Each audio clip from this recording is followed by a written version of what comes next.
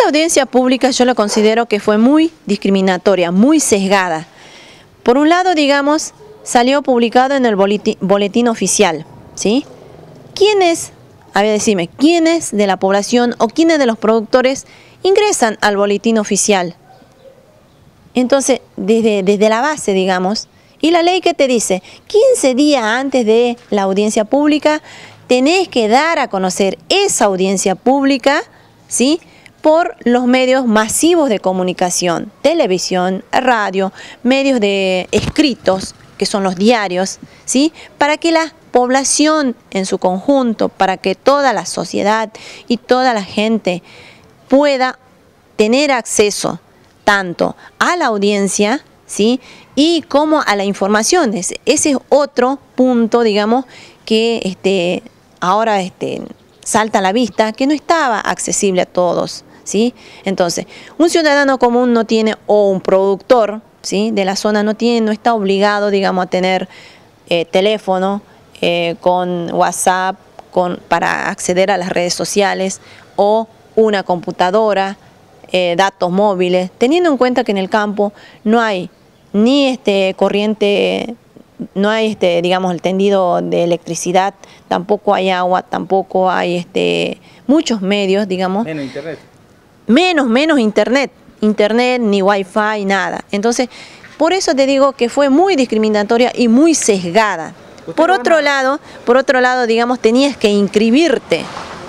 Yo creo que el gobierno de la provincia de Jujuy tendría que haber visto los medios ¿sí? posibles de que toda la gente pueda tener acceso a esta audiencia, por ejemplo, a través de un canal de YouTube o a través de los, de los medios de televisión, ¿sí? De un medio de televisión masivo o a través de la radio, pero ver los medios, digamos, y gestionar y realizar los trámites previos. Y no que tengas que tener, digamos, este, acceso a internet sí o sí y tener que haberte inscrito con anticipación.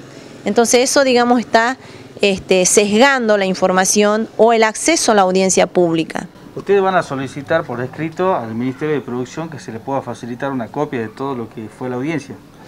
Bueno, allí cuando este, dijo el que estaba de coordinador en en la audiencia, yo le eh, solicité, digamos, públicamente una copia de las grabaciones de la audiencia pública, porque nos gustaría, digamos, después analizarlo punto por punto, cada uno de los expositores y cada uno de los oradores que estuvieron en la audiencia pública, que en su mayoría la mayoría de los, de los oradores, de los expositores, pidieron la nulidad de la audiencia pública porque está viciada de muchos errores, de muchas cosas que no se pueden permitir, que no se pueden aceptar y más viniendo, digamos, de un ministerio de la producción, de un ministerio de ambiente.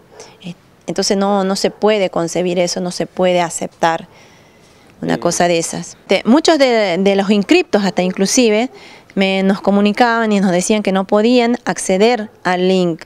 No sé, digamos, ese mismo. Y la otra también, es ese mismo día, unas horitas antes, te, te brindaban el link. Después otras personas, digamos, este, algunas, digamos, pudieron acceder a ese link y otras personas que se habían inscrito en la página no podían acceder a la, a la videoconferencia. Ustedes van a hacer una presentación, van a hacer un comunicado.